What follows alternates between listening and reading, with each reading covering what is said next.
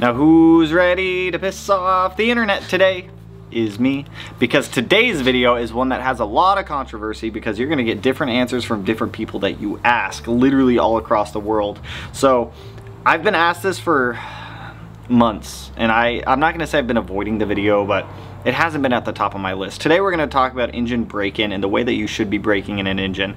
Now like I said it's controversial. You're gonna get different answers from different people that you talk to. For me, this is the exact process I follow, which we're gonna go through here in a little bit. Uh, we're gonna talk about some common myths that I've seen, and then uh, we're also gonna take my car out, go drive it a little bit, and I'll show you some of the techniques of what we're gonna be talking about in this video since we're technically still breaking in this engine behind me. So, one of the biggest questions I see is how many miles should you put on an engine before break-in? I'm gonna tell you this, whoever built your motor, follow their recommendations if you don't know what you're doing. If you want to venture outside of what your builder is telling you to do, you can follow my steps if you'd like. So typically you're gonna see people tell you uh, engine break-in needs 500 miles, 1,000 miles, 1,500 miles, 2,000 miles, 3,000 miles, all these wild, wild answers out there. That's just, that's just not true. You're also gonna hear people say, I, people have asked me this too, and it always throws me, throws me through a loop is, how do I break in my bearings? For, we're gonna start with that. We're gonna start there. A, you don't break in your bearings. Like there's nothing you can do to break in your bearings. Like after you have measured out your engine, You've made sure that all your clearances are good. You've made sure all your tolerances are within spec. There's nothing else you do with the bearings. Like you, there's no breaking in the bearings. Your bearing and crankshaft should never have metal to metal contact. And if you're having metal to metal contact between your crankshaft and your bearing, you are going to have some more catastrophic issues than worrying about breaking in an engine. There should always be a very thin film of oil between the bearing and the crankshaft. That's what the crankshaft actually rides on is the oil. That's why when you go to measure out an engine, you know that you're gonna be using this grade of oil. Your oil pressure is probably gonna be somewhere in this range. With those factors, you know these clearances should be X, Y, or Z for whatever your engine you're building is. Now, based off of knowing that information, you know that once that engine sees oil pressure, that very, very small clearance of a couple thousandths of an inch is gonna fill up with oil, and that is actually what the crankshaft rides on. That's why you put engine assembly lubrication on everything when you go to build a motor. If you did not put any type of lubrication on an engine you're building and you go to start it, you're gonna have a very bad time because you're not gonna have anything protecting the bearing or the crankshaft from riding on each other because as metals heat up, they expand and they're gonna expand a couple thou. And if you don't have anything there to A, lubricate it and B, cool it off because yes, the oil does help pull heat out of the engine, you're gonna have a bad time. So breaking in your bearings, you, you don't have to do any, there's nothing you do to break in engine bearings. Now the big thing that you do want to make sure, it, I don't even call it breaking in, but it's bedding. You're gonna wanna bed the piston rings to the cylinder wall. Now that is something that I slightly messed up on with this engine just because of the whole tuning aspect of things, how long it took to get it started, things like that. Personally, I'm not worried about the engine behind me. I know it's gonna run just fine. I know everything about this engine is Gucci. So what you're doing is when you Hold up actually, I've got a piston right here. Now what you're gonna be doing is bedding in the rings on this piston. The very bottom one is gonna be your oil control ring. The other two, one of them is going to be your oil scraper ring, the other one's going to be your compression ring. Now, contrary to popular belief, the piston ring doesn't seal with outward force of just the ring itself because if you guys can see here these rings move a little bit and that isn't actually what's creating the seal between the piston ring and the cylinder wall what it is is as the piston comes up you get the mini explosion right here. You've got all those compression gases here. They're gonna push back down on this piston. And what that's gonna do is it's gonna push down on this ring and that's what's going to seal the piston ring to the cylinder wall of your engine, then thus creating the seal. Now, if you get a weak or a bad seal between the piston ring and the cylinder wall, what's going to happen is you're going to have increased blow-by. If you don't know what that is, it's excess oil that's going to make its way past the rings. It's going to, well, it's going to go from the crankcase, past the rings, into the combustion chamber, out of the valves, you're going to be burning a little bit of oil. Um, it's not the end of the world if you have a little bit of blow-by, but you can prevent a lot of it by doing the break-in process properly. And we're going to get into my break-in process here soon. I just want to cover these basics first. Now with that, you're also going to see a very small small decrease in the amount of power you could potentially make because if you're not sealing your rings properly, you're also losing a little bit of those compression gases. If you're losing a little bit of those compression gases, obviously the engine's not gonna make as much power as it could if it was bedded 100% properly. We've kind of covered the basics there of um, what you're actually bedding in, the thing about bearing, breaking in bearings, you don't gotta break in bearings. Bearings shouldn't have to be broken in. Going through the engine break-in process, there's a couple things that you need to do before you even start the engine. A, when you get your engine assembled, make sure that, like I said, make sure all your clearances are good, make sure all your tolerances are good, measure eight times, assemble once. Make sure you've got a good quality assembly lubrication put on any moving components, any bearings, any journals, anything like that in that engine that is going to see movement. If you don't have an engine assembly lube, um, you can use a high quality oil. I would probably go with the assembly lube though because it's more geared towards obviously engine assembly. So after you've gotten that, you've got your engine back in your car, you've got everything ready to go, you're ready to start it. Before you even start the car, you need to prime the oiling system. What that is going to do, especially if you have replaced your oil pump recently, you're not gonna have any oil in that pump to prime the system. So what you're gonna have to do is disconnect the fuel pump, whether that's pulling the fuse, unplugging it, um, anything like that to make sure that no fuel is getting up into those injectors because it is going to try to inject fuel if you're trying to prime the oil pump and you don't want to flood your cylinders with a whole bunch of gas like you don't don't do that once you've got the fuel taken care of you also need to disconnect your crank position sensor that's just going to help keep the engine from not starting. You don't want it to be able to start when you're priming this stuff. Lastly, take out the spark plugs from your engine. With the spark plugs in there and no fuel and you're trying to turn it over, the engine's going to have a more difficult time to turn over because all of that compression is trying to stay inside of the engine, which is obviously what you want. But whenever you go to prime the oiling system, you want no, you want to keep as much load off the engine as you can. Removing those spark plugs is going to allow the engine to spin a lot faster to enable you to build oil pressure quicker and it's also going to help make sure that you're not putting any stupid types of load on these piston rings when you go to start. So you've got your spark plugs out, you've got your fuel disconnected, you've got crank position sensor disconnected. Awesome. Get in the car, keep turning it over. I recommend having a mechanical oil pressure gauge hooked up to one of the oil galleys on your engine so that way you can physically see, hey, I've got oil pressure. I know I have oil pressure. I can see it right here. If you don't have a mechanical oil pressure gauge and you are turbocharged, what you can do is pop off the oil feed line for the turbo, put it in a glass jar, put it in some type of container so that way when oil starts coming out of that oil feed line, you know you have oil pressure going through the engine. Last case, if you don't have that and you don't have a mechanical gauge, but you do have a dummy light on your dash, you can continue to turn it over until the dummy light on the dash turns off. Those are three ways to verify that you do have oil pressure. So, got oil pressure, fantastic. Pop those spark plugs back in, reconnect your fuel stuff, plug back in that crank position sensor. Make sure you're topped off with fluids. I don't recommend starting your engine with no coolant in it, anything like that don't do that. So you got fluids in there, you're ready to go. Let's say that you've got brand new camshafts in the car because when you go to break in an engine, you're going to have to do a camshaft break-in process.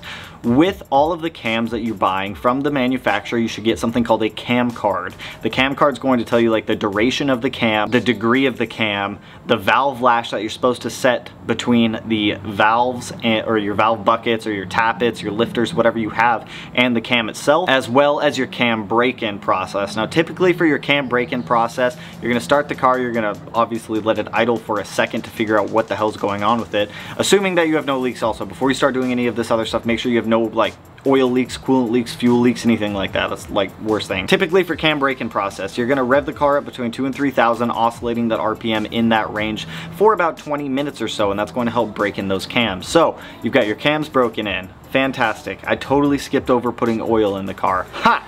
First oil change that you do, or the first oil that you put in your car, go buy cheap conventional oil. Because you're gonna do an oil change literally right after you do this cam break-in and whatnot. Conventional oil in, you're breaking in your cams, cam break-in is done, fantastic.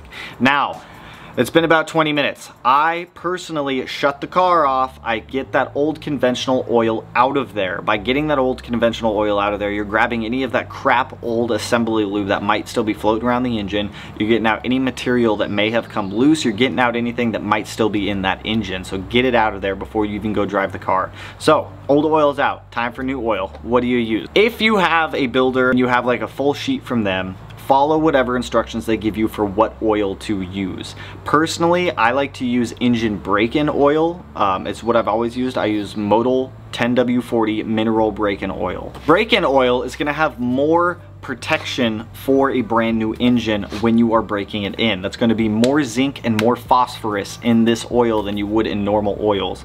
Um, they took, they started taking zinc out of oils a couple years ago, I want to say. So getting a specific break-in oil is what you want. You want a mineral. Let me let me specify. You want a mineral oil for your break-in. The grade of the oil is totally going to depend on the engine that you're using and the engine that you have. If you have any questions about what engine oil you should use or what engine oil you should run in your car, ask somebody who's experienced in the platform that you're working with so that way you are putting in the right oil. This is a very tedious process when you're breaking in a brand new engine because it's going to set the engine up for the rest of its life. It could last X amount of miles, it could last Y amount of, Z amount of miles. Who, who knows? Who knows how long it's gonna last. You got your fresh oil back in the car. It is time to start getting some miles on this bad boy. Now here's what I was talking about earlier. There is a misconception that people say you need 500 miles, 1,000 miles, 1,500 miles, 2,000 miles, 3,000 miles to fully break in an engine. A long time ago, yeah, it probably would take that long, but with how far things have come with cylinder honing and piston ring technology, it really doesn't take that long. Typically, you're gonna break in an engine in the first like 100 miles that you're driving it. After that, you're not gonna see much more break-in than you're already, already gonna have. What you're doing when it comes to seating or bedding the piston ring to the cylinder wall is you've got a fresh hone on that cylinder wall. That fresh hone has a specific roughness value. I don't know what it is off the top of my head because it's going to vary from car to car, but it's going to have a roughness value. So as that piston ring is moving up and down the engine, it's also going to be spinning a little bit. What you're doing is you're seating or you're bedding that piston ring into that fresh hone and that roughness, it's going to create a memory type of effect on the cylinder wall. So that way that piston and that piston ring is going to create a seal and you want the best seal possible. Now I wouldn't suggest just letting the car idle for long periods of time like I did with mine. Um, I didn't really have much of a choice because we were fighting a lot of issues, fighting a lot of problems. So don't do what I did with this car. What you're gonna wanna do is you're gonna want to start putting light load on the car. And I'm not talking about going out smashing on your car 100% full throttle, anything like that. Light load, you're gonna wanna start to put load on that. Like I said, the combustion gases from the engine are going to push down on that piston ring and help expand it to create that seal on the cylinder walls. That fresh hone that you have in there, it doesn't last that long. Once that fresh hone is gone, that's all the bedding that you're gonna get from that piston ring on that cylinder wall. For me, what I do, the first 50 miles of driving the car, I will stay out of boost, I will stay under about 30% throttle, and I will drive the car normally. You don't want to hammer on the car, you don't want to beat on the car, you don't want to do anything like that. After that first 50 miles, you do not have to do this, but I do. I change the oil at 50 miles to get out any residual assembly lubricant or anything else that might be floating around that engine to get it out of there because the last thing that you want is a piece of material getting under one of your bearings and completely destroying your life. Like I said, you want no metal to metal contact between anything on the crankshaft side of things. And if a piece of debris that may have been in that engine when you were assembling it makes its way through an oil galley and potentially gets under one of those bearings or through an oil galley and like in between something, even if it's between the camshaft and the head, you're gonna have a bad time. So after 50 miles, I'll change out that old break-in oil that I had in the car and I'll put a fresh a fresh set. I'll refill it with break-in oil again. Now I'll run that next set of break-in oil from 50 miles up to 250 miles. Now, that oil, after 250 miles, I go back to normal oil. So, between 50 miles and about 100 to 125 miles, I'll get into a little bit heavier of load with the car.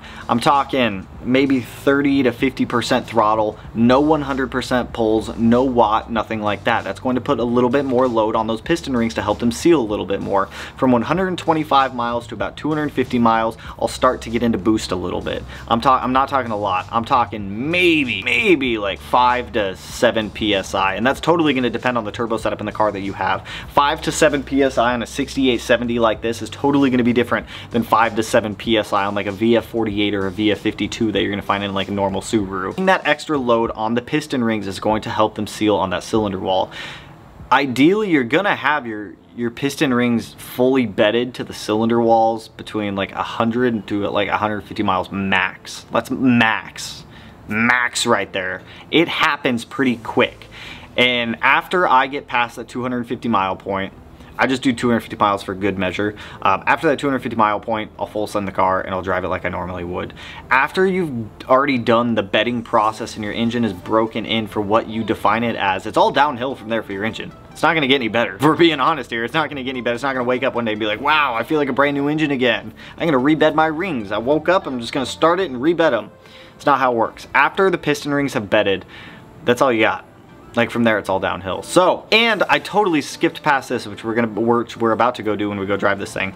Um, vacuum on the piston rings. If you can do that, I'm talking when you're driving, give it some gas, it's essentially use engine braking to slow the car down versus using your brakes. Use engine braking whenever you can because that extra vacuum that you're putting on these is definitely going to help seal those piston rings even more to that cylinder wall. So while you're driving the car, engine braking, it's gonna be your best friend. So let's go drive this thing around a little bit. I'll show you guys uh, engine braking and for RPM limiting, obviously. Um, use common sense for what RPMs you should stay under.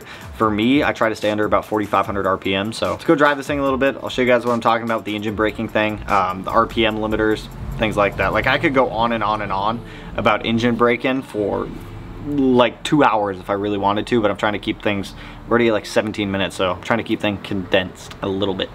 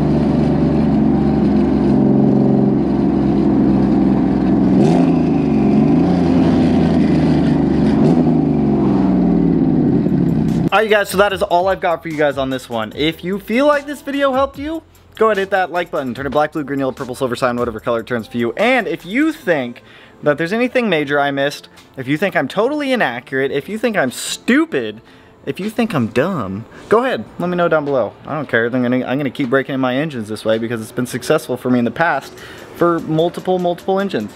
That's how I break them in does fine. You don't need 3K miles to break in an engine. So, with that, that's all I got for you guys on this one. If you guys want to subscribe to the channel, you know what to do. I'll put it in one of these corners. Go ahead, hit that button if you're feeling up to it. But, with that, I'll catch you guys in the next one.